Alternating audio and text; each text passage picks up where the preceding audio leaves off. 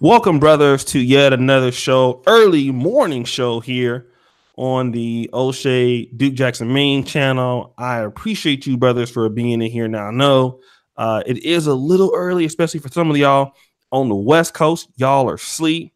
Uh, but for those in the East Coast that are up right now, we have a wonderful show for you right now. And I have a special guest and uh, blogger and uh, owner of www.theesquire.com. I hope I'm saying that right and that is uh, a subscriber and a brother, Waymon Brown. And the topic that we are discussing today, he picked it, is designing the unstoppable black man. And boy, is that a legendary topic in itself. What's going on, brother Wayman? What's going on, Oshay? I appreciate you for having me on, bro. And uh, shout out to everybody that's up early with us this morning. All right. And you guys, as you're coming in, make sure that you go ahead and like the video and get some coffee because we have some good information today. Uh, let me just ask you a little bit about about yourself before we kind of get into this particular topic. Uh, let, let us know, let the brothers know, you know, you know, where you're from, what do you, you know, what, what what's your inspiration, what do you do, things like that. Okay. Uh, I'm uh, 34. I'm from Buffalo, New York. So I've been uh, living here my entire life, born and raised.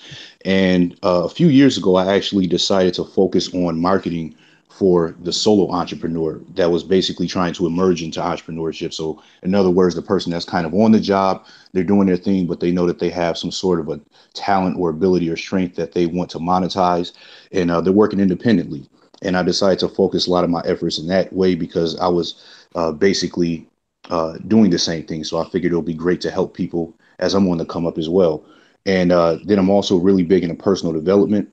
So that's how I essentially launched my blog, the esquireproject.com, and uh, had it up for for a few years now. You know, kind of went through some different changes in the direction that I wanted to go with it. But recently, uh, within the past couple of months, actually, uh, largely influenced by brothers like yourself as well as others in the manosphere, I decided to focus my attention and my content more on helping Black men to be unstoppable in the marketplace and also to eliminate barriers to their own personal achievement. Okay, okay. Uh, let me ask you this: uh, What barriers do you see that black men have in, in the marketplace here in the in, in the United States? Oh, for one, you know, I think that we're definitely kind of uh, we have a reputation as almost being the last uh, hired, the first fired. Uh, you know, when you think about the volatility, the volatility of the marketplace in general, is getting pretty tough because we're entering what's known as the gig economy. So it's been predicted that within the next couple of years alone, uh, reports have said anywhere from a third to maybe 40% of people are going to be working on a short term contractual basis. So I think for black men is really important because we're oftentimes sought out as the least desired within uh, the workplace. You know, I still have a day job um, and I've had a number of different jobs over the years, several different industries. And just from my own experience, I know that we're oftentimes not really desired in the workplace that often. So I think that uh, for Black men, when it comes to our image, our uh, our attitudes, our work ethic, you know, just the conception of of how we're perceived, that's in and of it, that in and of itself is a really big challenge for us. So those are some areas that I think brothers could really use some work on. Let me ask you this: Why do you think that um, there's a lot of theories out there about maybe why black men are not welcome in the workplace or things like that. What's your uh, I- interpretation of why you think that a black men are not really welcome in a lot of workplaces? Well, you know, we have uh, somewhat of a reputation for being a bit abrasive. You know, we can be someone, or we can be guys who uh, may kind of challenge authority, so to speak, or we at least have that reputation. And you know, just as men in general, it, it can be kind of tough to submit to authority.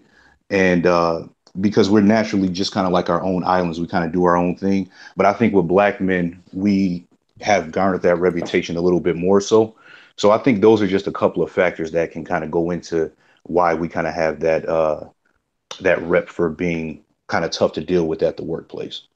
Mm-hmm, mm-hmm.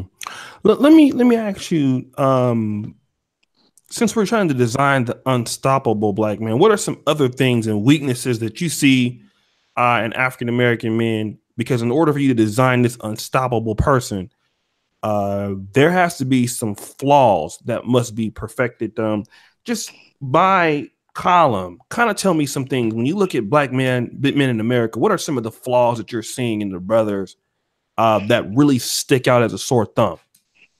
Mm-hmm. Well, you know, right off the bat, I can kind of think of uh, three real key areas overall that kind of cover a number of different areas. And uh, for one, I would say definitely black men when it comes to our self esteem, uh, our confidence, and also our competence. Those are kind of uh, the three major things that I think kind of go into or at least influence other areas like your finances, uh, physical fitness, our relationships with women, our ability to network or lack thereof. But our self esteem, our confidence, and our competence are really three things that always kind of stick out to me. Let's start with the number one. We're going to get into other things here, guys. And thank you, Wake the Hell Up. Good morning, Oshay and guests. Uh, shout out Miles, what's up? Let, let, us like the videos, guys, you're coming in. Uh, but let's talk about the self esteem. Um, why do you feel that black men uh, suffer so much from such a low self esteem? Mm-hmm. Well, you know, of course, we know that our self esteem is essentially how we feel about ourselves. It's our own sense of worthiness, it's our value, it's basically our image of ourselves. And black men, I believe we struggle with this since in a lot of areas we're kind of last on our own totem poles and everyone else's. We've already we've always been trained to kind of put other people ahead of ourselves.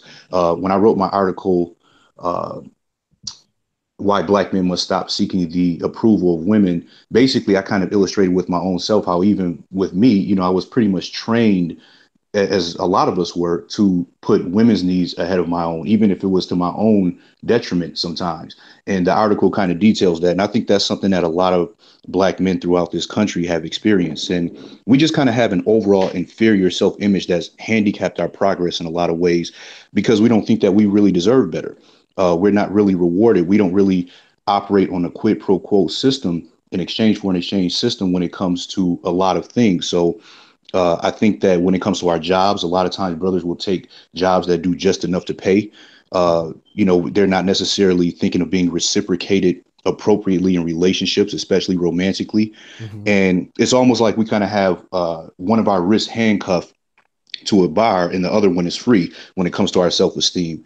And uh, we're just we're just kind of looked at as being expendable um, the way that we're depicted in the mass media, the way that we're treated by law enforcement, all of these different things go into our our negative self image of ourselves. These are factors that work against us. So I really think that it's important to have some sort of a medicine, uh, so to speak, to kind of heal the wounds in order for us to start organizing ourselves as a group, but starting off individually uh, in order to make some progress in that area. Let me let me ask you this as far you because you're making some really really really strong points. Um, how do black men we, we know how they see themselves. Mm-hmm. how do they see other black men in your opinion? That's a really good question Oshay. Um, you know I, well i'll give you an example where i live at. I live in buffalo new york. Uh, sometimes we're we're on a list i don't remember exactly who produces this list but between buffalo cleveland detroit uh, we're basically kind of like always in the top three most impoverished cities, you know, very low uh, income per capita, very high poverty rate. But then you also have some people who are living middle class, and you have some people who are living upper middle class, et cetera, even within the black community, like, you know, most places throughout this country. But um, I think that as black men, we are so, we operate so independently. And a lot of times we kind of have a certain attitude towards each other where we don't really need to deal with each other or where we always have to try to compete with each other or be the, the dominant one in the room. And, uh, I, you know, I don't want to make it seem like it's like this overall, just in general with all black men, mm-hmm. but that's that's kind of like the general consensus. You know, basically, if if we don't really we don't really operate from a place of interdependence with each other. Mm-hmm. You know, it's basically about outshining the next person a lot of times it's about uh, being able to have a, a bigger or better or better reputation than the next black man a lot of times so i think that overall brothers kind of have a very standoffish sort of a temperament when dealing with each other. But at the same time i've also seen very good examples of brothers uh, who can work together. Usually it's done in really small groups you know um, but but i would say it's a mix between those two as far as the way that black men view each other. Let's talk about these small groups because um, I agree 100% what you're talking about. You because we want to give some precedence to uh, some of the brothers that you may know personally in your own life or in your community uh, that are that are working together that are doing uh, uh things that are positive or that are uh, substantial. Can you give any examples of, of, of these things that you do see within black men that you know of in these small mm. groups? Right. Well, uh, even locally for me, you know, I'm a, a person who generally speaking is involved with a lot of things in my local community. And uh, when when when I think of the small group, it's it's really small. I mean, I'm talking maybe a handful of brothers who might be working on a certain type of project. So, you know, I've seen brothers come together to form different smaller nonprofit organizations. Mm-hmm. Uh, I'm a part of a uh, locally here in Buffalo. We actually one thing I like about living here. It's a very it's kind of a smaller city, about a quarter million, two hundred sixty thousand people. The metro area is of course bigger, but there there's a lot of access to things if you kind of roll your sleeves up versus if you were living in a city like New York or LA where it's kind of hard and it's extremely competitive. Uh, but even when it comes to like local media, I've been able to uh, have support in that way when uh, it comes to education and, and you know starting up a TV show and things like that. There's actually an outlet that's local that uh, can help people within the community start their own public access channel. So I've seen brothers work together on that type of a scale as well. And uh, also when it comes to basically, you know, putting together different events that could be uh, for for the betterment of our people locally. I've seen that as well. But again, you're talking really small scale, and oftentimes, even if the brothers do come together to do these different things, I oftentimes don't really see it uh, as being very long term. It's all it's almost kind of situational, and uh, ultimately, I think that'll be a really nice step to see black men being able to work together, even if it is in smaller groups, even if it is kind of like with that tribalism effect, but mm-hmm. doing so on a regular and a consistent basis. Let me ask you this because you, you make a good point that these smaller groups do not uh, work together long term, but the smaller groups are more on a shorter term basis. So, can you explain to me why you feel that these smaller groups typically have a hard time working together on a longer term basis? You know, I think about it like this, man. Um, the, the one of the ways I can illustrate it is like this. When you think of a family of four, you might have a mom, a dad, you know, a daughter and a son in the household. Uh, you know, the parents could be married the whole time, and when the the kids kind of get older and and life changes, the family changes. So, dad you know, may have done some things in the house that weren't necessarily correct. Mom may have done some things in the house that weren't necessarily correct. And just within those four people who probably went to the same place of worship, lived in the same house, you know, they understand each other. They can find themselves in a strange relationship, even though they understand each other more than anybody would probably understand them. So when I think about, you know, the black populace at large with 40 something million people, it's even harder to manage, even if you're talking about just dealing in these different groups and uh, and things like that. I just think that over time, relationships change, values change. Uh, you know, like anything, you, you kind of start to see things that you maybe didn't see before within a person, maybe certain things that are out of harmony or at a conflict with where you are. And things like that, I think, are really one of the big reasons that black men seem to kind of work together on a short term situational basis. And we have a lot of pride as men, especially as black men, and we are not very forgiving of, of not only uh, each other, but more importantly ourselves. So I think that that goes into a lot of play as well.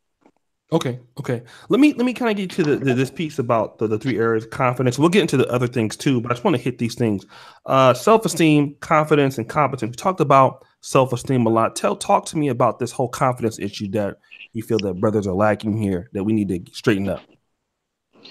Well, you know, our confidence as a group uh, it oftentimes comes across as being somewhat exceptional in some areas, such as when it comes to our physical strengths, you know, our, our inborn suave or swagger, if you will, or our abundance of, of different talents and our capabilities.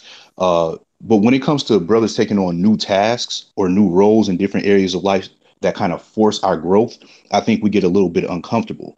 Mm-hmm. Uh, you know, I think that black men, a lot of times we are comfortable kind of being stagnant and doing what we know best but then when it comes to approaching something from a different angle, or even, you know, let's say at a job, I, I know a lot of times uh, for myself, even not so much in recent years, but you know, I kind of had a reputation within myself where other people didn't really know it, but I was almost just kind of like, man, I want to do enough to do what I got to do. I'm not trying to trying to necessarily take on leadership roles. Mm-hmm. Uh, you know, I don't I don't necessarily want supervisory or management type of uh, experience or or responsibility. I just want to kind of go in there, do what I got to do, work hard, respect my coworkers, get my check, and get out of there. Mm-hmm. Uh, but the you know opportunities like that are opportunities for Black men to be able to not only be an example.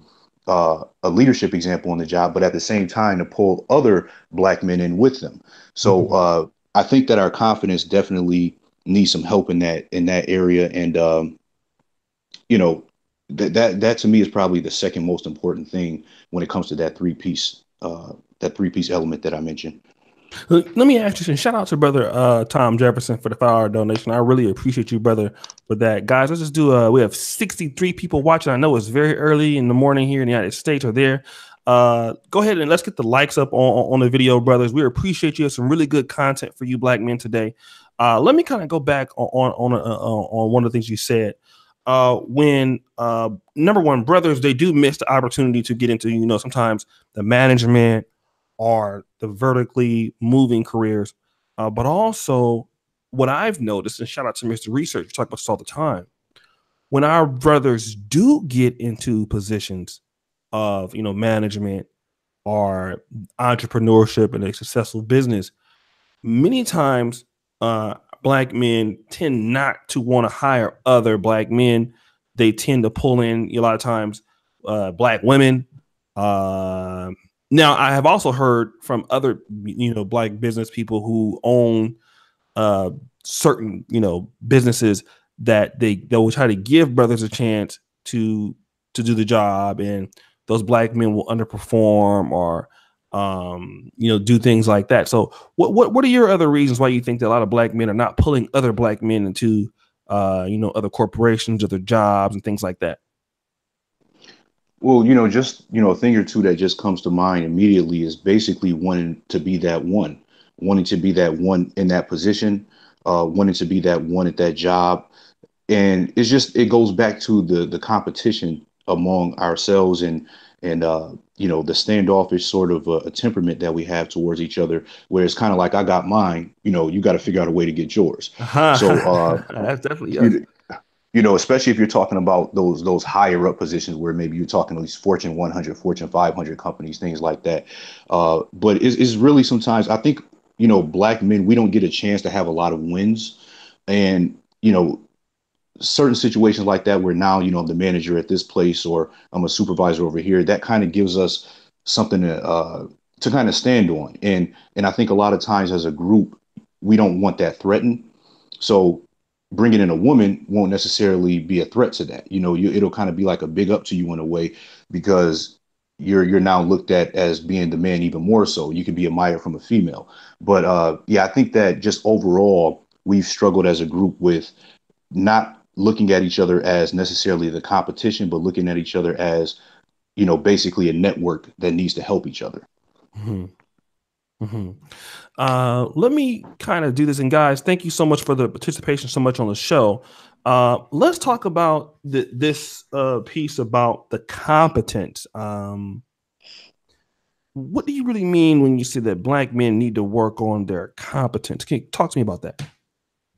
Right. So, you know, being competent, of course, usually just kind of centers around basically proficiency, you know, having know how, having skill, having ability. And as I mentioned earlier, uh, we're living in an ever-changing world in a constantly changing economy. Uh, even with that report that I that I mentioned about the four out of ten people who probably are going to be working on a short-term contractual basis with the gig economy just around the corner, mm-hmm. basically, uh, is going to get to a point where you have to be able to show and prove very efficiently that you can help businesses uh, increase their revenues and increase their profits. Mm-hmm. So I think that the black man uh, already experienced a very high level of volatility within the marketplace. So I think it's really important for us to kind of be like a jack of all trades, you know, so to speak. Uh, I, I, use the reference of brothers being like a Swiss Army knife as a metaphor. I oftentimes look at different objects or different things as references. And when I think about a Swiss Army knife, I think about something uh, that's that's always prepared, that's capable to undertake any task. Uh, you know, so I think it's very important for Black men to never be unable when it comes to anything, whether it be due to a lack of skills or a knowledge base. And what you don't have, go out there and get and continue to keep on adding to your arsenal because we're moving through different shifts and we need to be prepared to take care of ourselves and our families. So competence is extremely important, not just when it comes to business or or uh, work, but also just in general areas of life because it helps us to be prepared in dealing with situations. Okay. Okay. Now let, let me uh now the economy economy is changing. Um I did do a, a show. I don't know if you saw that on my other channel, the trucking show. Did you see that hangout I did? I think was that last night? Uh it was two nights ago. Two nights ago, yeah. I think I actually uh stopped in for that one for a bit. I didn't uh, watch the whole stream though, but I definitely did stop in for that one. Okay. When when you talk about competence and, and you you look at the economy that it's changing, Mm-hmm. And you and you have uh, let's say a 22 year old guy comments um, under your blog post one day and he says, you know, Waymon, you know, what do you think that you know from what your view is on the economy? What should I, as a black man, uh, be focused on as far as a career? And you get this question. What are you What are you telling brothers uh, uh, uh as far as that? Well, overall, I think it's gonna. It comes back to kind of taking that jack of all trades approach. I mean, some brothers who might be in a little bit more, you know, of a stable industry, so to speak, or the brothers who might be in professions, the doctors, the lawyers, the engineers, they may not necessarily feel the sting uh, as much, or don't believe that they'll necessarily need to feel the sting as much. But to me, it's really being able to, in some way, always be able to monetize whatever skills you have, whatever talents you have, whatever knowledge you have. So I think it, it kind of takes a combination of if you aren't able to be a full time entrepreneur, as I'm still uh, not a full time entrepreneur, I'm basically emerging into full time entrepreneurship, mm-hmm. you know, to make sure that you can still, uh, if, if necessary, to have your job.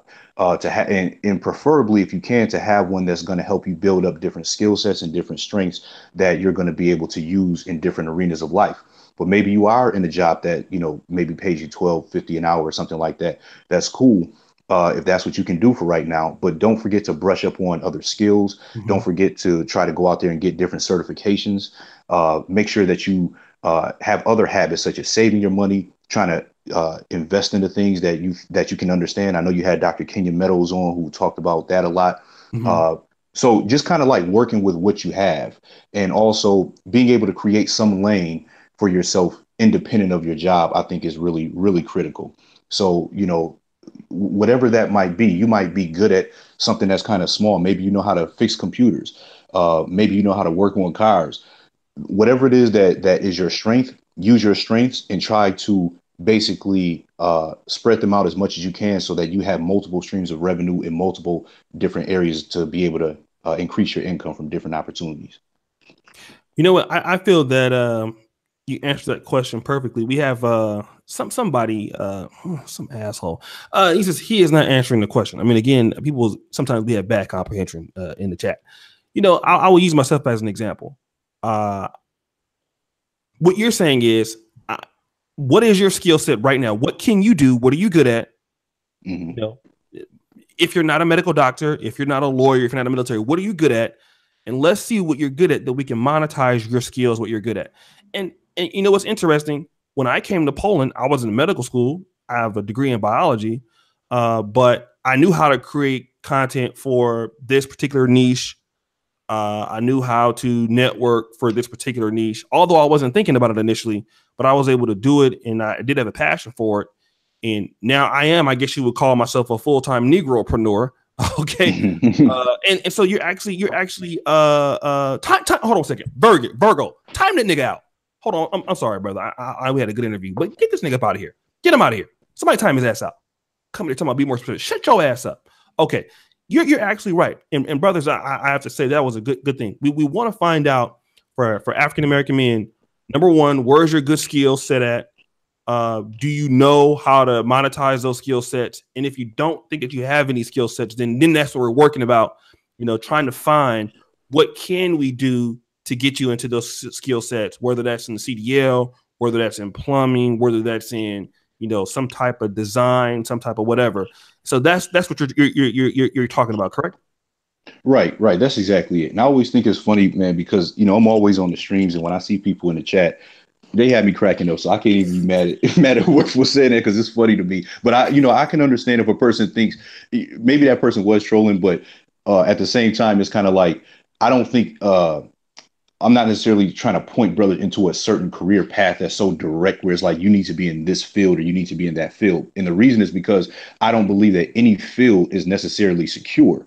Uh, basically, there's opportunities in different fields, but what I'm basically telling brothers is like, look, whatever you're into, be into that thing, do it, do it very well. Try to constantly upgrade your life, like you said, even with the CDL. Uh, just basically create more lanes for yourself. That's really what it's about. It's not so much about just being affixed into one particular industry or, you know, this is the hot market right now. But like you said, basically find out what you're good at, use those things, create something where you can earn profits more so than wages and just rock with that because basically that's that's the direction that everything is going uh, with automation and, and more uh, things being digitized. So that's what I'm basically encouraging brothers to do.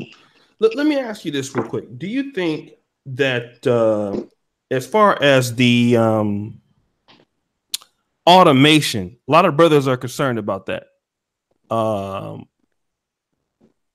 is automation going to be a problem? Do you think? I mean, I know for America, but you know, do you think that black men are going to be, you know, really hit hard by that? I think uh, the marketplace in general is going to be hit hard by that. You know, um, even when you look at something as simple as when you go to your stores with the self checkout. Uh, I went to Target last night and uh, I bought a couple of, of electronics. And I just remember, I think there was like one person who was an actual live cashier, and there were more, from what I remember, there were more lanes for the self checkout than there were from you know a person that you can actually deal with. Oh, so say that again. Say it again. Say it again. Say yeah. it again. Yeah, man. I think uh, what we're going to see is people are going to start getting replaced in general by machinery. Uh, like I went to Target last night there was a one cashier and it wasn't even really like that late. I think this store closed at midnight. I, I was probably there around eight o'clock. There's one person who was available, but there were more self checkout from what I recall that were that were actually available than cashiers. So mm-hmm. you're going to start seeing uh, basically people in general kind of get replaced and brothers already being kind of low men on the totem pole. You know, we're we're definitely gonna gonna feel the sting of that, possibly even more so than any other group. You're definitely right. Let me do this. Shout out to Ann James. Yep, I have a certification automotive technology. Now I'm going to school for mechanical engineering, and I had a photography passion I was really good at, and I'm an informal scaffold builder at 24. Damn, brother, you doing a lot in your life. I'm gonna start hating on you, nigga. You, you got too much success going on. Appreciate you, brother. Thank you for the super chat. Yeah, that brother doing a lot, man. So it's good to see our young brothers out there uh, at, at 24 doing doing really good. Let me let me talk to you about also um, you mentioned this whole uh, uh idea of networking. I'm going to go back to the original conversation we had on Facebook to come up with some points. Mm-hmm. Uh, brothers have a hard time. I know that I don't have this time, hard, hard uh, problem as, as much as other brothers do, but we do have a problem establishing this network as black men. Um, and it, it is a, is a bad detriment, not only within our African community, but let's say outside of the community with other blacks, other black immigrant groups. Uh, how has this networking inability um, hurt us uh, as a group? So this is this is so integral because uh, you know networking is such an underutilized tool. I mean, I can even just think of of just with me and you. Um, you know, I just recently uh, reached out to you to touch bases. It's probably been just over a month, or maybe about a month and a half, and uh, you know, here it is. I'm actually on the show. Some, you know, it, it's amazing how there's a power that's within networking that brothers just definitely don't really use or that is underutilized. And it really inhibits us from a lot of different opportunities. Basically, one of my philosophies is that you can get more done working with other people cooperatively than you can as an island. And a lot of times black men don't necessarily look at look at things like that. We don't really look at each other as a need. We almost kind of look at each other you know at best sometimes as an accessory. But it's so important because there are so many different social opportunities civic opportunities employment job opportunities that are really right within your own city that you live in a lot of times. If you just reach out and and get to know you know different people that are within your locale or even online mm-hmm. it's, it's extremely important for black men to be able to do that because it kind of keeps us locked out of a lot of different things that if we simply knew the right people, if we simply developed the relationships with the right people and treated our network uh, with fairness and and make sure that we're actually bringing resources to the table instead of just trying to always get something. And looking at it as you know you know basically looking at it as working cooperatively cooperatively with another person where you both try to achieve win-win situations there could be really nothing i don't think that black men, especially throughout this country, couldn't do if we mm-hmm. were able to if we were able to get on one accord with that. And it doesn't even necessarily take everybody doing it. You right. can have, you know, a few hundred brothers, a few thousand brothers throughout the nation that can be doing this. But uh, this is where other groups usually really win and they, they succeed very highly. And this is where we are always going to be kind of locked out of all types of successes that we could be due simply because, you know, we, we choose not to use that tool. A lot of times our pride and our ego gets in the way, but it's really a, a true handicap for black men. Let's talk about this because uh, as far as the networking is concerned, uh, you made a great point about um, a lot of brothers are always trying not, uh, I mean, not all of them, but we do have it. It happens. Always trying to get something without bringing anything to the table. I mean, this is important. Um, as far as black men, C- can we talk about that real quick? Because a lot of a lot of niggas just don't get this. Can we talk about that, brother? Because this is important. We, we need to teach these brothers today. A lot of brothers always want to get access to somebody else's network, but not bring anything. Can you elaborate right. on that? Now I ask the question. Yeah, man. Um, you know, it, it just kind of is one of those things where I think networking has become a term where people normally associate it with something that you kind of like like it's an activity. For example i'm going to go to this event so i can network. I'm going to go here so i can pass out a bunch of different business cards to different people and basically uh, self promote versus looking at it as here's a, another person who has values needs and desires I have values and needs and desires. It's important for me to figure out and discover what this person's values, needs, and desires are so that I can invest into those. And I have the faith that if I'm doing the right thing, then it'll be reciprocated. But a lot of times, brothers just, you know, just kind of go out there and, and just trying to see what they can get without actually bringing anything to the table. And, you know, you'll, you'll exhaust a lot of uh, potential relationships just by doing that. It's such a turnoff when, when you don't really have anything to bring to the table when you just always got your hand out for something. Um, I'll just use a really quick example, Shay. Uh, I know, you know, uh, recently I had actually been in touch with uh, Black Ram 313 as well as Ron Wills. And I remember, uh, you know, basically I wanted them to take a look at my work. But before asking them to take a look at my work, I made sure that I donated you know, to them. I made sure that uh, I donated something to the PayPal, and it wasn't so much about, hey, I put some money down now can you look at my work? It was just more of a respect thing. Like if i'm asking for your time when right. you don't even know me it should be just one of those things where you know I, I, should have the decency and the common decency to say well i don't have a relationship with you so i want to make sure that i'm investing into a relationship with you. And i already appreciate your work anyway. And brothers i think need to take that sort of an approach of what can i do first before i start thinking about what i'm going to get out of a situation Right. And I mean, like even even you when you come in, you put in, you know, it's not like a whole lot of money or anything like that. Um, but it was it's an it's like you know, you came on, you always I always know wait it's always two dollars, right? But it's right, just right. the fact that okay, I see the brothers trying to support, and that's the, the thing that a lot of brothers don't understand. Um, when it comes to us as as YouTubers, like Deep in Thought, he's also out of Buffalo. He didn't even ask me to come on and do the show. I asked him would he come on to do it, uh, because he's a good brother. He's trying to help at risk youth in Buffalo, and he he always every show I do, I always send him a, a, a link to the show, um, because he he's he, he, you know he don't be in here like you know going crazy on super chat, but it just because you know it's like all right, I'm gonna contribute to what you're trying to do. A lot of brothers don't understand that when we run this platform, I spend about eight or nine hundred dollars every month on YouTube donating to other people.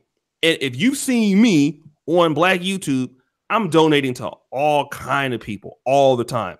Sinful to P when he's online. Uh, Paris if she's online if I catch it. Uh, uh, uh, uh, uh, Jada Black. You know, I'm I'm I'm subscribed to over 30 people on Patreon. You know, and I do that because I support people. So you know, when you want to come on and get access to somebody's network, you got to understand that this network is not free. You know what I mean? So it's not right. that you know brothers are always trying to uh to charge you or anything like that. Like even when Alpha Male Strategies came onto my channel, you know what I mean? I didn't just have them come on for the free. Uh, I dropped them a little something, let them know I appreciate you. You know what I mean? And this is what br- brothers need to understand when you're trying to come into another black man's uh camp to get your stuff promoted. It don't cost a lot of money, and like especially when you're dealing with black people. You know what I mean? Two dollars goes a long way. Five dollars goes a long way. Ten dollars goes a long way. You know what I mean? And if you're genuine, people will see that. We'll want to, people will want to work with you. It's always the brothers that email me all the time. Hey, bro, I want to come on to your show. I want to come on to your panel. Now I have like 900 or a thousand people on my primetime shows. And it's like, nigga, why would I, you know, why would I have you come on? I don't even know you. You know what I mean? Right. And, right, and man. Go ahead. I'm sorry. Oh no, no. I was just saying, yeah, you know, my, my thing was uh I said, you know, I'm in the chat, I'm always making it rain with the two dollar bills. you know what I'm saying? Yeah. But uh I, I said, but but to me it was kind of like one of those things where it's really just about trying to trying to really show an example of support more than it is necessarily the amount because you know I'll be in there probably four or five times a week doing that even though you know I, I could just simply only have you know Patreon and, and be a member there which I am and I'll be upgrading on your uh, Patreon as well. But at the same time I want to be able to show like look here's support. It doesn't necessarily take much but here's a couple bucks. If you keep on seeing you know the same people putting in two dollars five dollars you know 199 10 20 I know some brothers they be you know dropping a half a stack sometimes stuff Yeah, like- but, but, but you know. Dropping a million up in that motherfucker. That boy, he rich. yeah right but you know it's just it's just setting an example of of look we need to support black male media if you if you value the content it's nothing to take out a debit card and just and just go ahead and take care of that you know so yeah it's really important man to to show that you're not just there to just take something and that you're actually there to invest into into a person Also, let me do this real quick. A shout out to Eric Dorsey. Appreciate the great content I passed and I played around. Let me also back up on Waymon Brown's point. A lot of brothers, uh, like when when we get the support uh from y'all, we're able to get other professionals that want to come in and, and and deal with us. Like when when when you guys donate two or three dollars, people are watching, right? Like that's how we got Dr. Kenyon Meadows, MD. He wanted to. Uh, he he emailed me. We were able to bring him in. We're able to bring in all kind of powerful brothers because a lot of black men have been waiting for us to you know build some type of a network. So you know this is why we appreciate you, brothers, uh, for what you guys do. Even if you can't donate any money, we understand that. But you know sometimes just let somebody know, like, look, man, I don't have any money, uh, but I would like to do this. This is what I can do. You know what I mean? And still, that goes a long ways. You know, especially over here. So um, let, let, us also talk about um, some of the other things that you wanted to to talk about as far as uh, designing the unstoppable black man, brother. Right. So, um, you know, I think that uh, it's really important for Black men to focus on a few major key areas of life, and for us to use some some basic, you know, kind of fundamental principles that can serve as a guideline to improve the direction that we're heading in. You know, men in general, we usually operate very very well on systems. We're good at routine, uh, and we're cool with kind of doing the same thing over and over again in order to be successful. So, you know, a system, of course, is just a pattern of operations that can give us a predictable result. So I think that brothers kind of need systems for different areas of their life. They don't have to be complex, but when it comes, uh, for example, when it comes to things like personal finance, when it comes to fitness, when it comes to networking, uh, when it comes to you know living with a sense of purpose, simply maybe using one or two guidelines, I think, in those different areas could be a big benefit to brothers. And um, you don't really have to have much. You can kind of take the Arthur Ashe approach of start where you are, use what you have, do what you can. Um, you know, just kind of work with the things that are already in your favor and and just go from there. And there are some areas that I can definitely touch on, Oshay. Yeah, let me do that. Shout out to brother Virgo Life. Every time the brother that he came in, dropped but thank you, brother. We you know we just over here, man. We mean over here, brother. We appreciate you guys. Get the likes up. And, and brother Waymon, I don't know if you have a YouTube channel. Do you have a YouTube channel at all? I don't yet, man. I've uh, I've definitely been encouraged to start one, and it's something I've been thinking about for a while. Uh, Okay. more, and really, I want to add a, a audio video portion to my content, so I'll definitely be having that in the works too. Okay, okay, no problem. So when we when you get one, we'll definitely do the show. Sister Allie Emmett, my one of my favorite YouTubers. She won't give me a show though, because she she a superstar. But shout out Sister Allie. Um, let's talk about the other things that you wanted to win, brother. Okay. So, uh, you know, as I mentioned, I, I think it's important to use a strategy, and there's also important to kind of have a bit of a philosophy is, is almost like a base guideline. So, you know, when it comes to different areas, for example, uh, for example, finances, my personal philosophy is that I should always be able to take care of myself and have enough moves to be able to capitalize on investment opportunities. That single way of thinking is what enables me to have a certain habit when it comes to simply investing and saving my money. But you know, at, at the very base of it, a strategy could be, you know what, I don't make a lot. For a brother may not make a lot, but he could say, I'm going to save 10% of my money every single week or every two weeks when I get paid, I'm going to make sure I got 10% of my money in a savings account. Uh, this can help me to have a hedge against being broke. It'll give me, you know, a lot more confidence financially because I know I have a little bit of a fund or, or a nest that I'm sitting on. I'm not saying brothers have to understand everything about the stock market and real estate and everything is like everything like that, but simply being able to allocate a certain amount of your funds so that you have that for yourself is a, is a really big plus. You know, it can take you a long way. Uh, I just got back into the gym recently. I was working out at home, but I do about five basic exercises, probably about twice a week, and I do about 20 minutes of cardio when I do. Those five basic exercises and that cardio that I do is enough to basically cover probably 80% of my physical fitness results. So, uh, you know, even when it comes to things like that, brothers making sure that they're putting their uh, putting their best foot forward when it comes to taking care of themselves. And, and when I go work out, my mentality is that my body needs to be prepared for war. That's my philosophy. So it doesn't necessarily mean that there's war around the corner, but that type of mode of thinking keeps me in the habit of making sure that I'm doing the necessary things to keep myself in shape. Uh, when it comes to my relationships with other people, like we mentioned with with networking, one of my philosophies is that I can get more done with the cooperation of other people than I can as an island. So at least every month, maybe every couple of weeks, I'll make sure I'm always keeping in touch with different people, uh, making sure I'm establishing new relationships, making sure that I'm uh, reinforcing other relationships as well, contributing something of value to people's lives, uh, recognizing their attributes more than I do their deficiencies. Those are simple things that that I think that brothers can do just to kind of start creating a very well-rounded approach to being unstoppable. Uh, in that there won't really be any barrier that they can't get over that they can encounter. Mm-hmm. Okay, okay. Um, let Let's talk about. Uh, so we talked about the the the, the health thing, um, the savings situation. I, think when I we talk when I think about money, I think that most brothers, if they end up blowing money on stuff, they end up blowing money on stuff that that has to do with concerning about women. Um, mm-hmm. So let, let, we have to we have to we have to break that open because I'm, I'm living in Poland I'm not really into the white women. I, I, had a show with a guy yesterday. I don't know if you saw it, uh, the Less Polish YouTube channel, but um, I did. You, know, he, you saw it?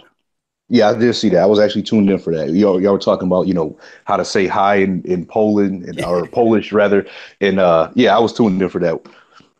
Yeah. So, uh, like me in, in, the apartment that I'm living in, like I ain't got a, uh, you know, all the, the 2035 Ferrari like Roastmaster. You got his shit that don't even exist yet. But, um, you know, but like I don't have I have a modest place. Um, I don't have a car. I don't I don't spend a whole lot of money on certain things, but I know that for a lot of black men who come up in uh, urban areas, even as they get older, they have a need to uh, you know, want to have like uh, you know a lot of expensive shoes, a lot of expensive clothes, um, you know, taking women to nice restaurants. Uh, all of these things, I think that black men uh, end up spending money on, you know, like uh, women asking for money, them giving it to them, stuff like that. So that kind of uh, affects black men's bottom line um, as they kind of waste money. What, what what what do you have to say about that? Yeah, you know, whether it be women or whether it be just other things that black men are spending their money on a little bit loosely, it all affects everything. You know, um, sometimes a lot of times brother will say that what they don't have I, I, very rarely think that a brother ain't got it you know what i'm saying right when it comes to when it comes to being able to support something like you got it you know it's just right. how you're using it you right. got it you spending two bucks a day on coffee that's 60 bucks a month. You got it you spending five to ten bucks a day on lunch that's 150 to 300 dollars a month. You know you go you, you got it but you blowing 50 bucks a week at the strip club. So you can actually do it you know, when it comes to support and, and making and making sure that you can allocate funds to improve your life and making sure that you can also contribute to other black men uh, that that are doing things that are, that are very well. But you just have to make the decision. And when it comes to you know dealing with women, of course, that's a whole thing that you know that that would be like a topic in and of itself. Uh, but a lot of times, I think that especially when brothers aren't in relationships, you know, they, they'll definitely just had a habit of tricking off some money on, on females a lot of times and very little, you know, ROI, very little return on investment a lot of times in the way of uh, just anything, just just in dealing sometimes. It's like almost in, in, a sense that sometimes brothers are so happy just to have a woman's companionship and company that, you know, they'll kind of put their own financial needs on the back burner. Before you know it, you done spent 40, 50, 60 dollars taking a girl out one, two, three times a month, and you know, all kind of for nothing in a way, just in the sense that th- this may not even be a person who you necessarily going to start a relationship with or is even available emotionally to start a relationship with. But I think black men just have to be a lot more disciplined when it comes to our finances mm-hmm. and uh, just just having a, mo- a lot more mindfulness about the way that we spend money. And that I think is going to be a really big key. And just having a habit, if you say, if nothing else, if I know I'm going to put a certain percentage aside out of every check that I get, then even if I do, you know, kind of screw it up in other areas, at least I know I did enough uh, to make sure to make sure that I've I've built up some sort of a nest egg for myself. Mm-hmm. Okay, let me do this. Shout out to brother Rain Knights. Uh, Oshay, do you have any collard green sandwiches this morning? Thank you, brother Rain, for that super chat. Guys, do me a favor. Uh, and also the the blog that brother William Brown operates is www.theesquire.com. Definitely gonna have this brother back as you can see. He's an excellent uh, content creator. Like I said, man, you never know what guys are going to come on and kill it for you. You know, and I believe in black male talent, man, and helping the brothers out and, and, and introducing new minds to black YouTube. Um, and sorry, shout out, shout out to brother Donnie Breeze. Think it's important to seek like-minded brothers when you're ready to level up. Avoid conversing with negative, narrow-minded individuals. So we'll talk about that. Um, now, in the United States, also, and I think this happens with a lot of our brothers uh, in the United Kingdom, brothers that are in uh, from other places Caribbean brothers, immigrant brothers come to the United States, and their family is, let's say, back home, Haiti, Nigeria, Jamaica, wherever. You know, these brothers, they come in and they work very, very hard. And, um, you know, basically their family is, uh, you know, kind of in their pocketbooks. You know, their mama raised them, you know, their family, they're trying to send, you know, remittances back home and things like that. And it's not all, it's, it's also very similar for African American men uh, and you're African American also too, right? Right. So you understand how it is. Uh, right, right. Your last name is Brown, so I know you know. Uh, you know, you know, you know. Uh, moms typically don't want to, if you're a single mom, they don't want to let their sons, you know, typically, you know, get married with other women because their moms are dependent on their sons to provide financial support uh, for their lifestyles as they as they get old and stuff like that.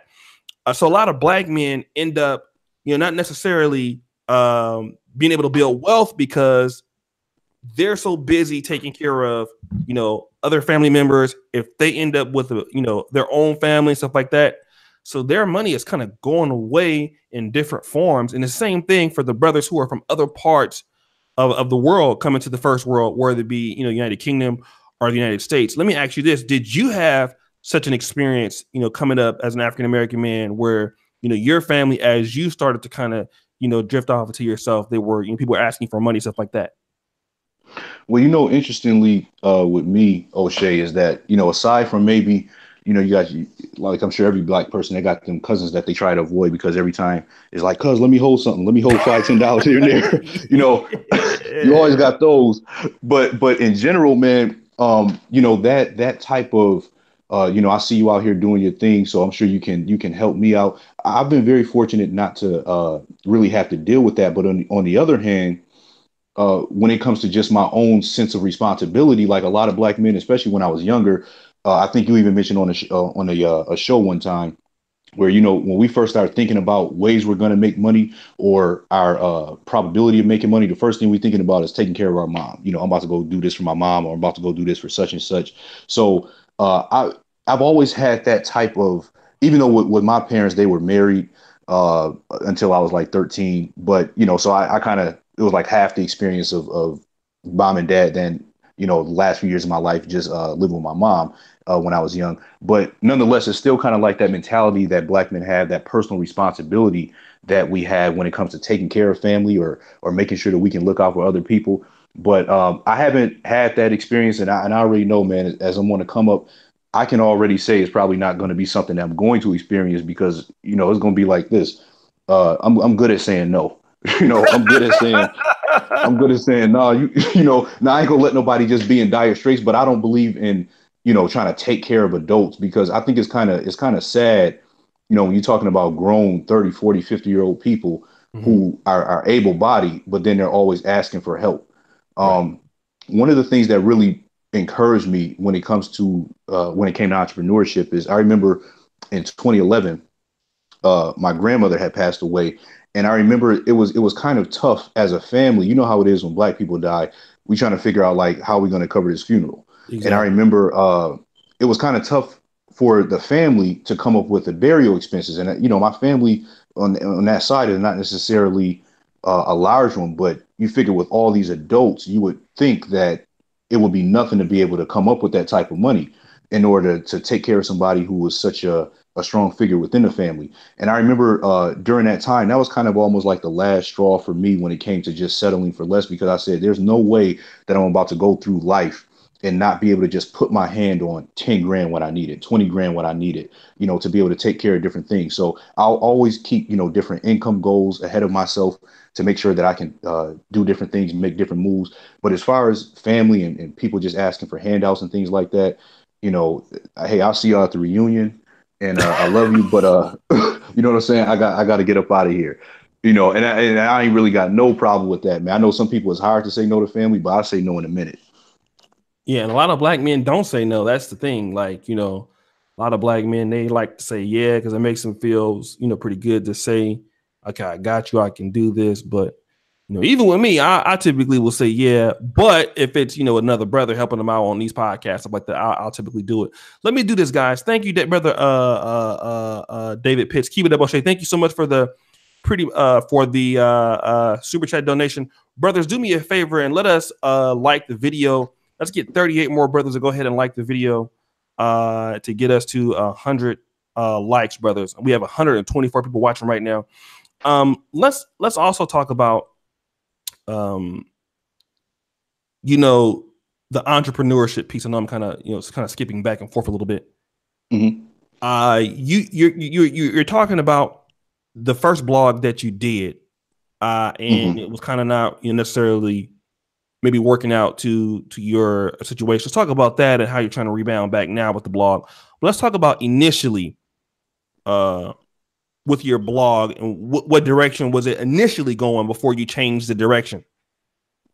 Well, initially, uh, it was uh, I think it was 2012 uh, when I just started, and I had no technical experience. I didn't know anything about designing websites anything like that. The only thing I knew was that I had a lot of good ideas that I wanted to put out into the world. So I just kind of started it off saying, I'm just going to start writing pieces.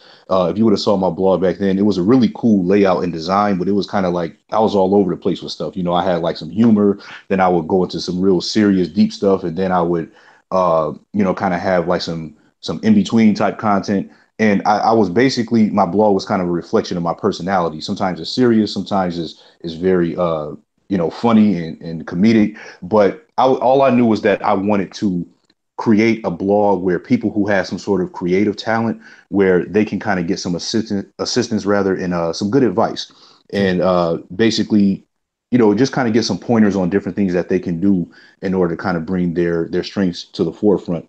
But uh, now I've kind of shifted it to help Black men uh, when it comes to just lifestyle challenges, when it comes to creating marketplace opportunities, when it comes to overall personal development and focusing on, you know, the emotional, the financial, the social, and the mental development of Black men to help us cope with our issues, uh, to be an encouragement to, to one another, and for other brothers to also share their wisdom and their journey with, with trying to be a better version of themselves. So that's where I'm at with it now. Let me let me ask you this because you know obviously I saw that the blog you know you started it. Um, what year did you start it? Uh, this was when I first put the Esquire project up. It was 2012. 2012. Okay. and so there was some inactivity for some time on the blog. Um, mm. There's probably at a moment where you're like, well, man, I'm gonna just, you know, let me shut this blog down. Um, you know, I don't have time for it right now, or things, um, you know, are doing certain, you know, it's not going the way I want to. What kept you for wanting to keep the blog going? and uh, to to uh, rebrand the blog and the content of it versus just you know giving up on it and quitting? Right. So um, probably the biggest encouragement to me was seeing how people were influenced by my blog. Uh, I'm a writer, so being able to see how people were influenced by my content was probably the biggest encouragement. And the second was just that sense of belief that eventually, you know, I would kind of find my way as far as the direction that I wanted to head with it. So uh, initially, it was just kind of like, man, like you said, there was different periods of inactivity. I, I remember uh, I didn't really do anything for probably about seven or eight months on my blog, and then there was another time where I didn't do anything for probably three or four months, and I had to try to, you know, gather up content again because my my host, uh, Bluehost, they uh they kind of you know they didn't have some of my content, which it wasn't their responsibility to keep. I didn't have stuff backed up, so it was kind of frustrating because I was trying to work, do a whole bunch of other stuff, then at the same time create this blog. But really, what kind of kept me in the game was just knowing that I had this skill and knowing that I had the ability to be able to influence people in a positive way. So then eventually, you know, I kind of looked at it as uh, an invention of a new ministry, if you will, when it came to narrow my focus towards trying to help brothers. And and now it's like, okay, I know I'm dedicated towards that niche. I know I'm dedicated towards that cause. I'm a black man. I need to be, you know, working with other black men who are like-minded. Uh, and I know our strengths, I know our weaknesses, so it's easier for me to speak the language. And that was really kind of what kept me in there after these these last few years. Shout out to Big Eastwood with the fifty dollars super chat. You know, me and him gonna take over African country one day, man. We just waiting on they're gonna do a military coup with uh, with no violence. So shout out to my brother Eastwood, man. We got to get you on the Trucker Podcast on Thursdays. That's my brother. He's always in here all the time. Um, shout out to Josiah. Shout out to Rosemaster.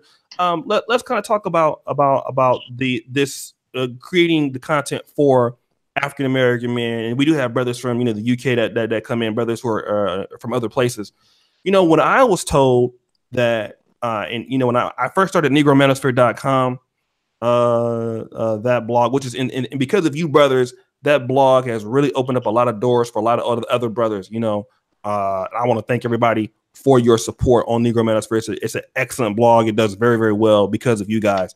I was told that if you create this uh, type of content for African American men, uh, that they were not going to support uh, it's a waste of time trying to do things for African American men. Uh, they don't respond to this type of content.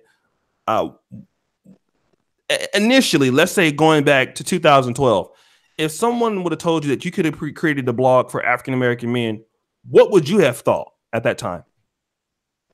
You know, I probably would have thought that it was uh, possible to do, but you know, at that time, I was I like the fact that I could write so diverse, and uh, and I still can. So to me, it was. I, I remember uh, one of my themes on my blog used to be individually distinctive, universally receptive, which which kind of meant you know it was for the individual. The the content was for the individual who was very you know well rounded or uh, not necessarily worldly necessarily, but just someone who was very open minded, well rounded, well versed. And I remember I had wrote a short story uh, from the voice of a female and um, that that actual short story, when I would share it, I, I, don't have it on my blog right now just because I'm centering my attention for brothers. But I remember when I wrote that story, it was like a challenge for myself for me to be able to show like I'm a writer and I could write from the voice of a woman, you know, kind of like this love story, uh, so to speak. So back then, you know, I probably would have felt a little bit more uh, like it was a hindrance because I didn't want to be kind of boxed into a certain niche where that's all I can do. And that's probably how I would have looked at it back then. Like, I know I'm a black man, but look, I can do everything. I can write on any type of subject from different vantage points. But as far as thinking of, of the uh, possibility that it could be something that could, you know, benefit black men, um, because at that time I wasn't really familiar with too many blogs that were doing that, it would have been probably a, a nice challenge for me. But I don't think I necessarily at that time would have saw the vision you know, had it not been for brothers like yourself and uh, you know the different other YouTubers that are out right now who who decided that they were going to dedicate themselves to that cause. Let, us talk about uh, after you've seen because uh, even me, I was hesitant because you know, Mike, I, I only speak to mm, African American male things. I can speak to other things on YouTube that's outside of the community, but typically I will kind of stay within that niche. Um, what response have you seen from from the brothers, just even on YouTube, from the subscribers and people like that, that it shows that it is positive that this can actually uh, help our own people, our own our own group, the African American male community. Uh, has it been? I mean, what what doesn't what, what what have you seen that's inspired you to be like, okay, I, I know I can just concentrate in this niche.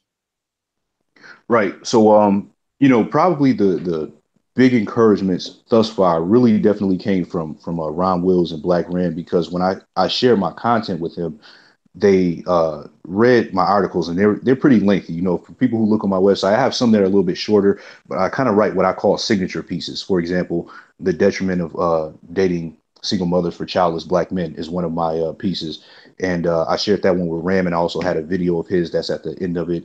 And the Ten Commandments of not falling for women, stand focused as a black man on the move. I, I shared that one with Ram, and just to get their feedback from guys like that who I truly uh, admire and respect a lot those those two guys really encouraged me just as I'm rebranding things over the last couple months to keep it going. And on my Facebook page, I also have a Facebook like page where pretty much on a daily basis, uh, haven't actually uh, had a new post uh, within the past six or seven days, but I'm gonna uh, pretty much I've been posting, you know, at least once a day to sometimes two times a day, some sort of piece of, of encouragement for brothers and uh, whether I'm getting inboxes from different guys who are already within my network, you know, family, friends who are telling me, I like what you're doing. We need this.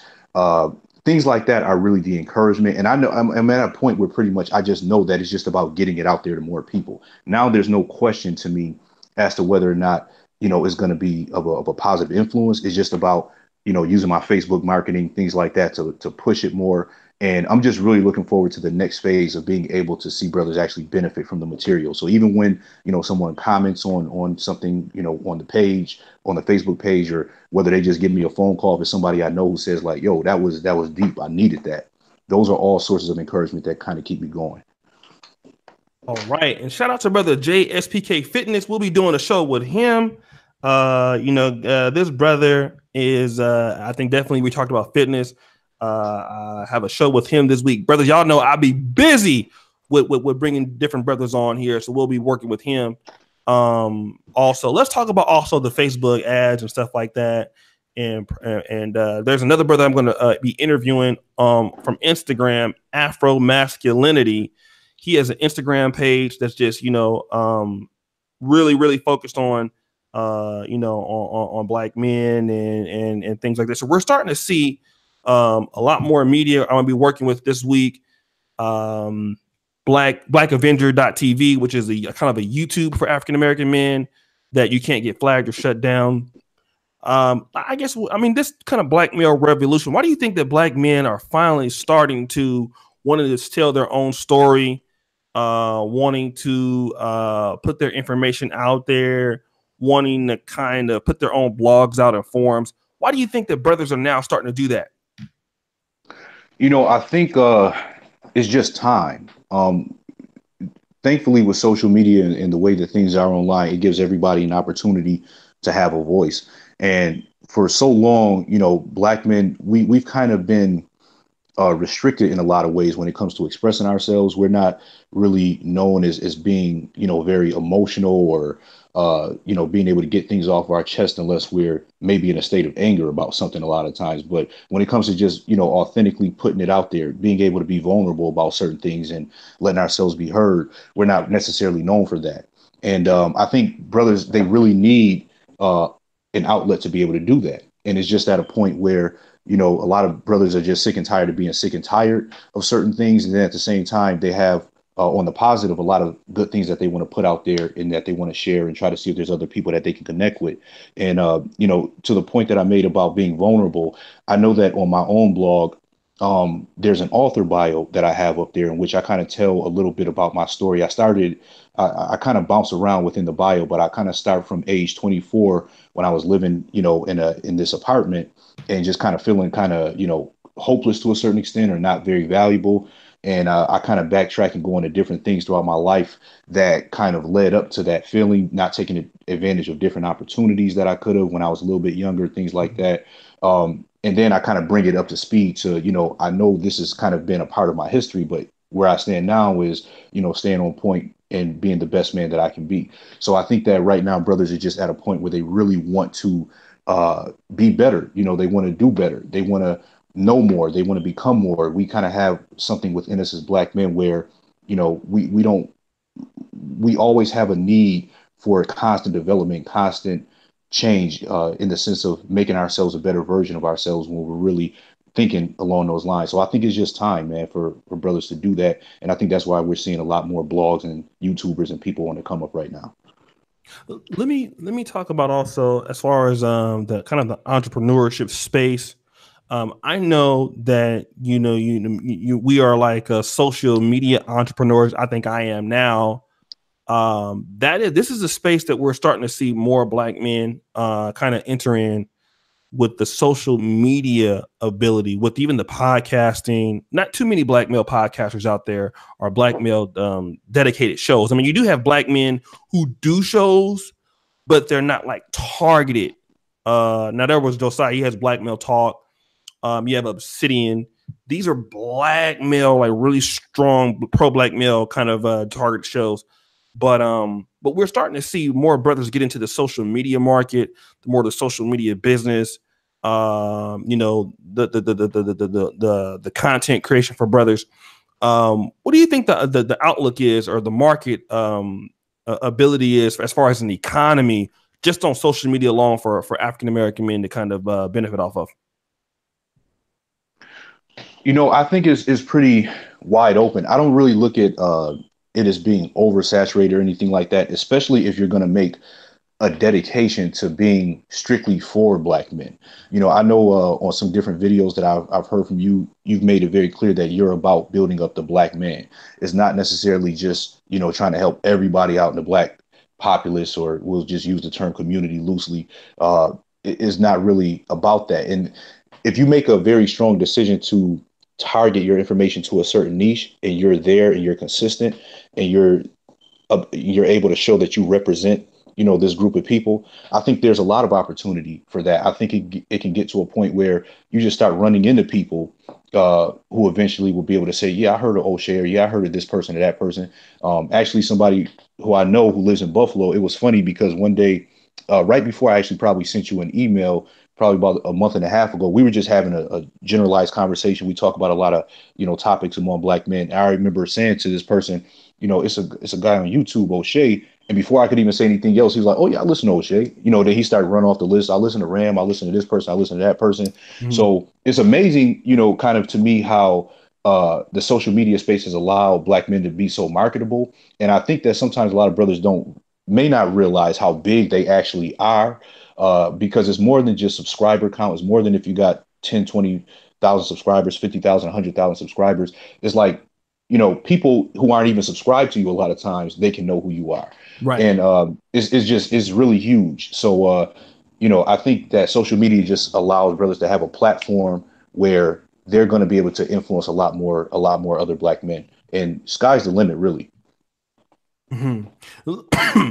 Let me also um, ask you as far as like you know politically because we always always try to stress uh you know that black men have uh um a really big spending power uh 600 billion dollar spending power in the united states is it's even bigger than some eu countries mm-hmm. politically what do you think that black men should be trying to do to use that spending power to use that 20 million plus people to kind of push the initiatives to kind of get, you know, things in their favor. Because you know, obviously, you know, black men are more likely to suffer from police brutality. It seems like, or at least in the mm-hmm. top two, two, two, two groups. you know, black men are more likely to go to jail, child support, those things like that.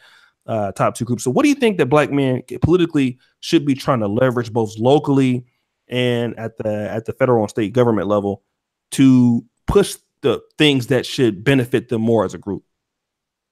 Right. So that's a really interesting uh, talking point because, you know, I know that especially like tuning into the panels and, and things like that that you have on your show, there's a lot of different mixed views on this. And uh, I'm, I'm really a person who's kind of like a fundamentalist when it comes to like just just cover the things that are the most important that you know are pretty much going to affect most of black men, if not all. So like you mentioned with police brutality, I don't think there's, I really don't think there's probably too many black men who haven't been pulled over multiple times, you know, uh, just for no reason and had to deal with some sort of encounter with the police. We know that when we do, we probably thinking this might be the last time I ever drive a car. you know, this might be the last time I'm ever out and about because you know that any sort of encounter that you can have with an officer as a black man can lead to your detriment. And that could be the end of it right there. So I think just focusing on things that basically uh, touch on the major aspects of black men's lives.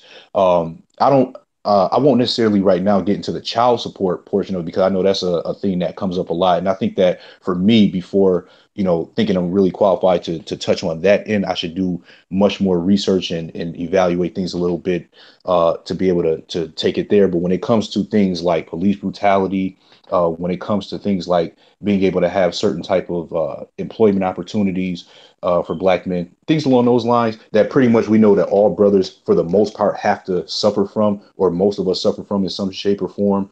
Uh, I think those are the things that we really need to be focused on, and they have to be initiatives that resonate with black men at large. You know, when we start trying to get into too many different aspects and trying to cover too many different things, it kind of takes the momentum away from maybe those one, two, or three major things that we really, really need to focus on. Mm-hmm. But there are certain things that are just by default. When you just say this topic or this issue, like police brutality, nearly every black man is going to be on the same page.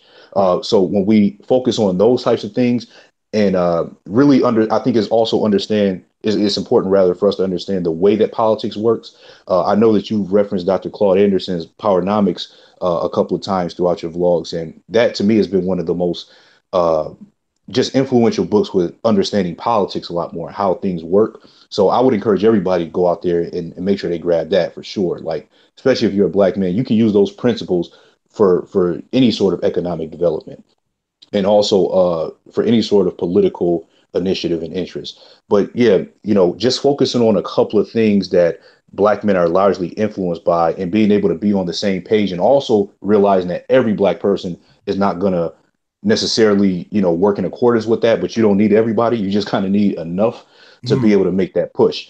Just like, uh, you know, I know there's a comparison with the, the, uh, LGBTQ community a lot and how they got things done. Um, I'm, I'm sure that every person who may fall within that that uh, category didn't necessarily have something to do with the political initiatives, but they still benefited from it. Mm-hmm. So it's really just about having enough like-minded brothers who can all come be on the same page to make things happen that other people can end up benefiting from. Because when it's all said said and done, you know, pretty much, you know, the person that has the the resources is the person that really ultimately makes the decisions. And um, I, I do think it's really important though to make sure that you have just enough brothers instead of trying to include every single person involved in an initiative because then everything just kind of becomes scattered. Let me kind of talk to you about a little bit. And I know we're uh, going over an hour, guys. 141 people uh, in in the chat. Get the likes up. Uh, 12 more people to get to 100. I appreciate everybody watching today. Um, let me talk to you about, you know, again, uh, I've been having some panels uh, as of late that have been including some people that look at things different than I do as far as um, what black men should be doing, uh, maybe the black community at large. Uh, and I've been trying to bet, you know, combine these people with different, sometimes opposing views to try to understand the views and get brothers talking. Now we know all brothers don't think alike, uh, but one of the things that I can say that that that, that black men are suffering from is when we are uh, we might agree on a lot of things, but one of the things that we can't agree on, uh, it, it becomes a lot of emotionalism. It can become a, a lot of name calling. It could get real ugly real quick, uh, and then we can kind of you know that that that that relationship can be severed just based off of that one disagreement. Uh, what are your thoughts about about black men and and trying to open up opening up their minds to other people's ideas in the same community to push a greater agenda that's that's so important because um you know black men we have to learn how to be more diplomatic when it comes to dealing with each other you know we all have different uh upbringings we all have different values we all have different agendas and different intentions but really i think it's important for brothers to be diplomatic, to be able to see things from other sides, not to be stuck on any one way of thinking about something uh, that may not necessarily be in conflict with their own morals or standards and principles. But we're talking about just biases and preferences. I think it's important for brothers to really be open minded and, and having uh, more more dialogue about things that can be looked at from a different angle. And the respect factor is is really a big deal because you know, I'll definitely hear in different sections of YouTube when I hear brothers kind of going at each other. I think publicly, um, I don't think there's anything wrong with with disagreeing or even some forms of argumentation as long as there's some logic behind it. But I think that publicly, you know, kind of the the disrespect sometimes that can be shown towards other black men, it just makes things it, pretty much puts some brothers in a situation where they'll grow to resent you and they'll always they'll already establish in their mind that they pretty much won't be working with you on anything. Mm-hmm. Um, so I think black men have to respect each other's differences. But one of the things that I really appreciate about the new direction that I'm heading, especially with my blog, is that since I'm thinking black man first, I'm not thinking everybody black first. I'm thinking black man first.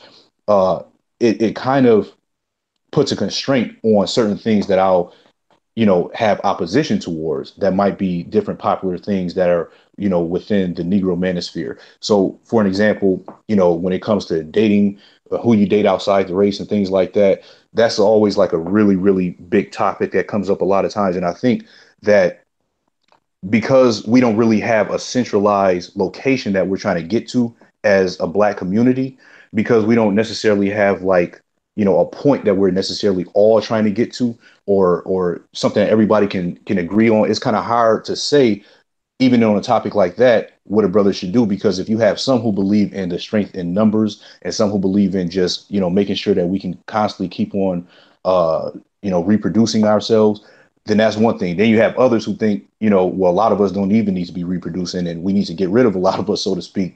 So, you know, kind of dealing with women who are outside the race is actually a good thing or uh, is, is an acceptable thing. Then you have everything in between.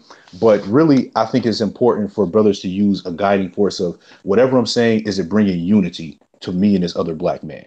Is it bringing some sort of unity? Is it bringing harmony or is it causing division? If it's causing division, then it's probably not something I need to be putting that much into. I need to try to find the common ground and stick to the common ground things and work with that. No, that that's excellent. That's excellent. That's definitely what we should be doing, brothers and um, guys. Thank you so much. Um, got 140, but four more likes to get us to 100, brothers. Again, YouTube will be promoting this video the more likes that we get, and that's the reason why we ask for that. Um, also, I want to say this uh, for those people that want to visit the website, uh, www.theesquire.com. Uh, I it is now in the description, and for those brothers who want to, uh, you know, basically drop your emails, I have free ebooks from the Negro Manosphere, How to Stop Simping. Uh, in 24 hours, we have that also. I got to get back to promoting uh, the the email list. We have over five thousand brothers uh, that's on the email list, and so I definitely thank you. Um, it, let me ask you: is, is, there anything else you wanted to talk about, or wanted to kind of weigh in on today, or? Uh, you know, overall, man, I just wanted to to definitely express my appreciation uh, to you for having me on.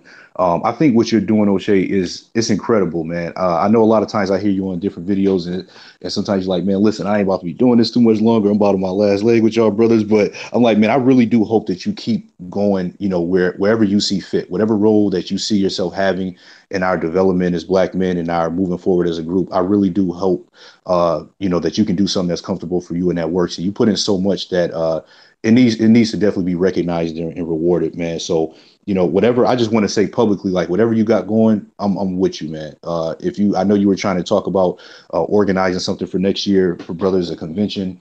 Um, I, I, would love to see something like that happen and, and, love to play a role in that and do whatever I can to make that that uh, that uh come man. So i definitely appreciate everything that you do. And i just want to encourage all the brothers out there to basically whatever you got going on in your life whether it be struggles relationship wise money struggles you know i've been there. Uh sometimes you might kind of feel like you're at the bottom uh of, of the road you know or at the end of the road when it comes to a lot of things but just kind of keep your head high. Try to figure out whatever you can do to to make life better you know uh, reach out wherever you can. If you find somebody who has a bigger problem than yours a lot of times that could be a good way to to kind of take care of your own problems because you'll be able to focus attention on somebody who needs it more. So really uh, i just want to encourage the brothers out there to keep on trying their best to keep on uh, working to their strengths and uh, just to keep on going man. And i definitely appreciate you for having me on no problem, brother. I can I can guarantee you, you'll definitely be back. I want to shout out to uh, all the moderators. Uh, moderator awards are still going, guys. Ten more days left. Eleven more days left. Uh, I'm gonna put a vlog up about it before, so we're gonna you know go hard at the end of the month. Um, I do have two more shows today. one with Mike. Uh, that's to be very interesting. I'm pretty sure. And then we have the Sunday Rumble show on the other channel. We'll have Information Man show as our, our main keynote guy tonight. So you know the Sunday Rumble shows get real ugly. They get real interesting. You guys love those shows. So uh, again, I want to thank the brother Waymon Brown for even reaching out to me. Uh, and I have to really give a, a big response to the subscribers because it's you guys that give you know hope for other brothers who can create content for our group because of the support that you guys give. It's not necessarily just you know the super chats or nothing like that, or just the people that are you know you have a thousand people watching or whatever.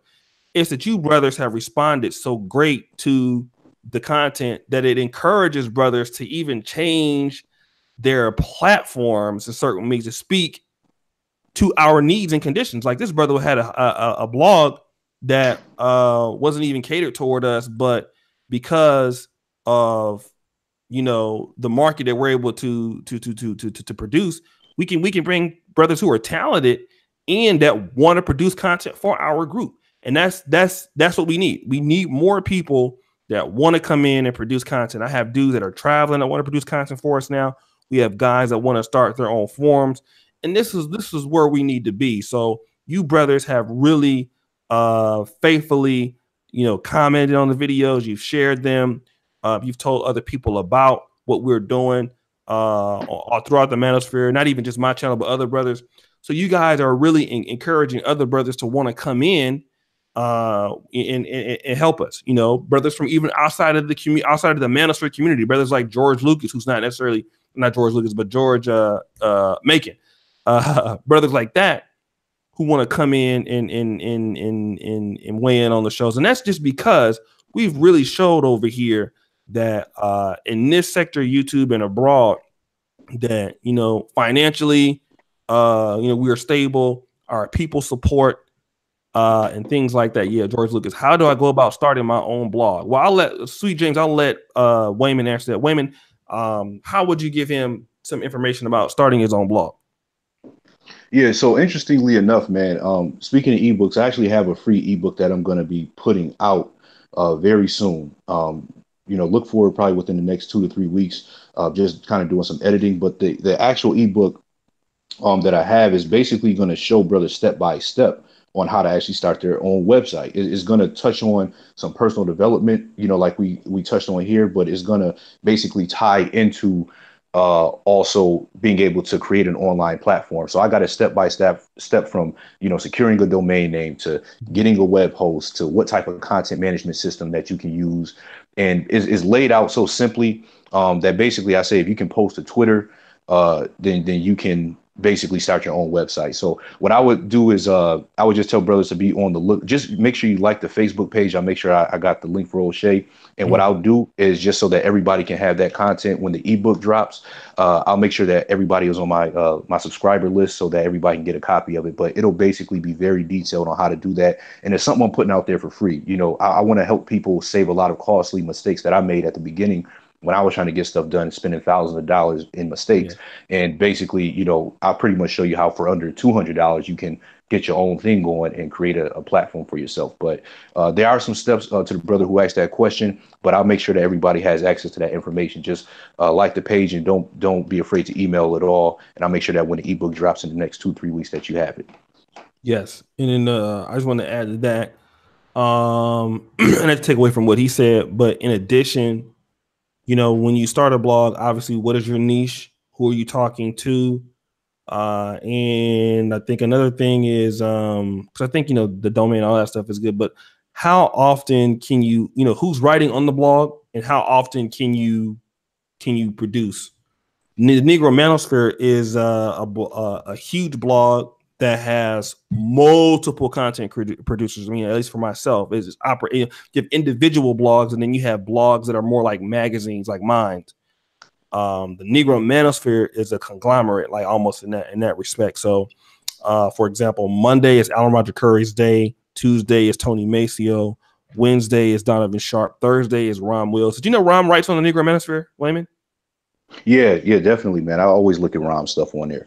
Yeah, Rom writes on when uh, uh, uh sometimes I guess post. Y'all know when I when I when I put up a post, it get it go crazy. I need to start. I need to put put this next one up because it, it, you know when I be you know I be writing sometime, right, women? Oh yeah, man. I always be check you out. You know, I check out the the Doctor Action comic book, everything, man. you know, I'll be I'll be I'll be throwing them out there. I mean, I ain't good as David, but you know, I gotta brag about my I get like three or four comments more than Alan Roger Currie. He gonna hear from me.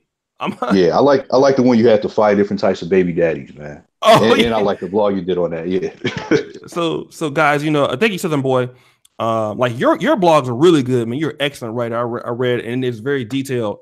Uh, so if you know if you're writing detailed blogs like Waymon, I mean, I don't know if you could if somebody could put out a real detailed blog like every day. It's a lot of work because it's really intricate. He's a really really good uh, writer.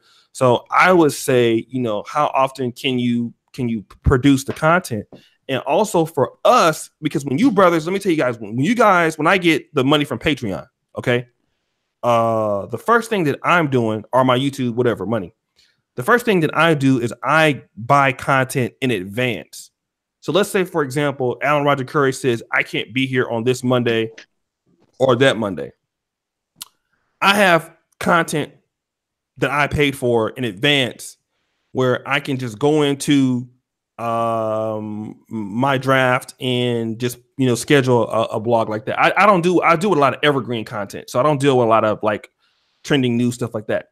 So I always like to have me personally 30 to 40 to 50 articles complete on draft before that's that's what the content coming day and i also have a lot more content so i have a tons of content like right now, I have like 27 articles right now in draft status. So if I didn't have any articles for 27 days, I at least have 27 days where I can get more content. So like I said, when I get Patreon money, um, when I get the YouTube money, or brothers PayPal me stuff like that, first thing I'm doing is I'm con- I'm contacting my guys and we're putting out more content. And so if you're an individual blogger, that's something that before you might want to go live, you might want to think about how much content do you have you know, do you want to space it out? Do you have enough content to like maybe last you eight or nine weeks if you're posting daily? Uh, because that's what I'm always worried about. I'm always worried about how much content do I have. And some guys, it's like Donovan, um, Alan Roger Currie, and Rhyme, they write whatever the hell they want to write.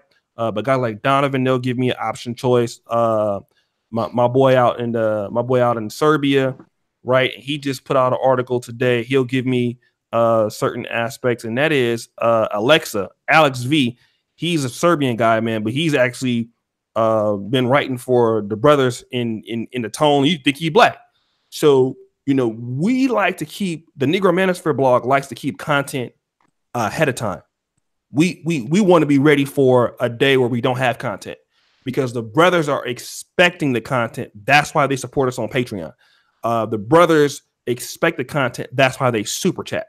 Uh, even on my YouTube channel, when we do shows, the shows are in advance. You know, we, we so we know what we're doing. So uh, Dwayne Newberry, we may have to purge. So I just want to add that in there, and I'm pretty sure that William's going to have that. So we want to have that also, and you want to make sure that you can keep the blog. My goal was for Negro Manosphere, how much I can have enough content so I can make it a year.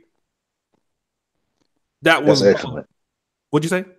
No, I was just saying that's excellent. Uh, even with my, uh, you know, my Facebook posts on my page, I had a lot of stuff that was just scheduled ahead of time. Like even, uh, you know, when I work on it between today and tomorrow, I'm going to make sure that I have posts that are going to be coming up for a while where I can just automatically have them drop so that I don't have to be right there, you know, every single day doing it. I just I can just schedule them every day, four o'clock, you know, Eastern time, for example. They'll be coming out. So being organized in your approach and having all that set up and knowing how frequently you're going to post are all very much so key things. You know like with me as an individual blogger when i write is is kind of like i always I always kind of think you know i'm like dropping a Sade album or something like that. Like you know you might have to wait a little bit but once you get it it's going to be so comprehensive on the topic that i'm going in on and it's going to be something that you can use as a reference piece because a lot of things i i try to write things from almost a timeless perspective as well.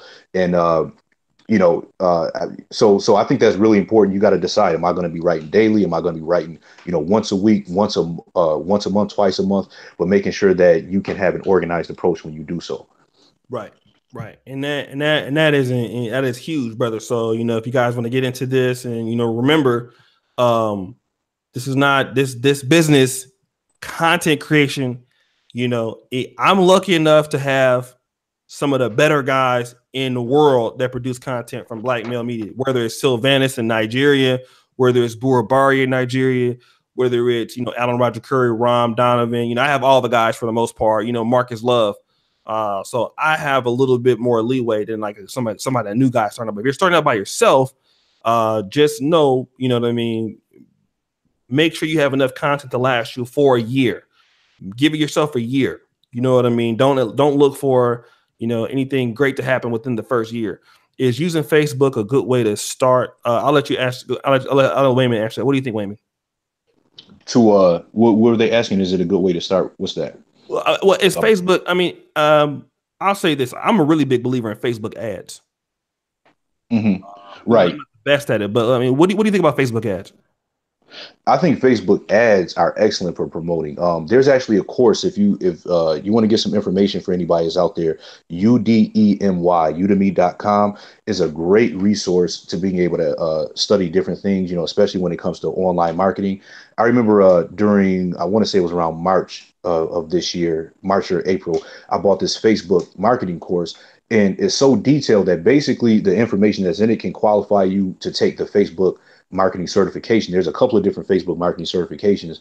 Uh, I think they might be around a hundred some dollars, but it, I mean, it shows you how to target your market in a very detailed way. A lot of different tips and things like that that you won't necessarily always find like on free youtube videos that are out there.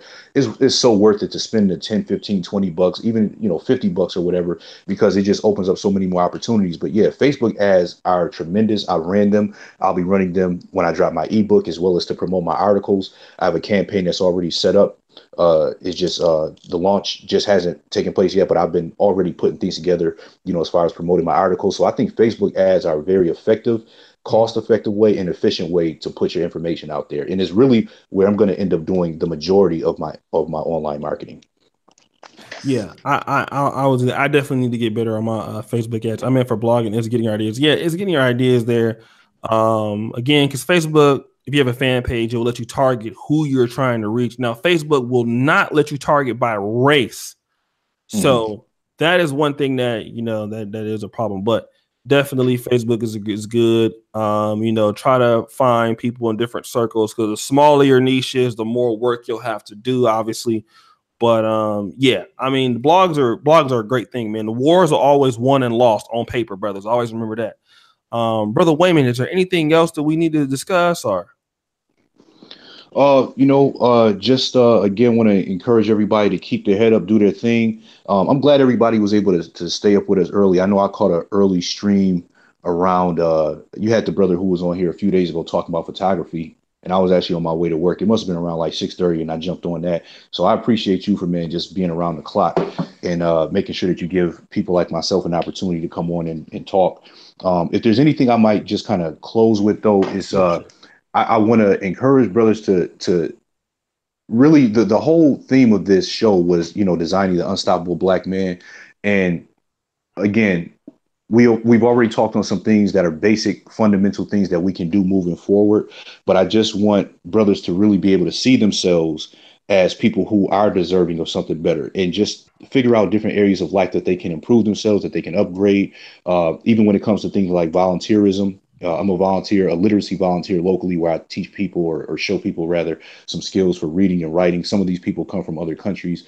Uh, but just having like a well-rounded lifestyle for a black man, I think is really important. Making sure that socially you're trying to uh, improve and be in the circles that you need to be in, taking care of your mental health, your physical health. You don't have to do a whole lot. You can kind of be you can kind of be like that quarterback that got drafted at the end of the third round who may not have the strongest arm, but they have a good command of offense. They they can, you know, be an accurate passer. Just kind of work to your strengths and you can find the the small wins there. But I just want to encourage everybody to just keep on doing what they got to do and uh, uh, really just keep persevering and definitely appreciate platforms like this that can help us to achieve our goals.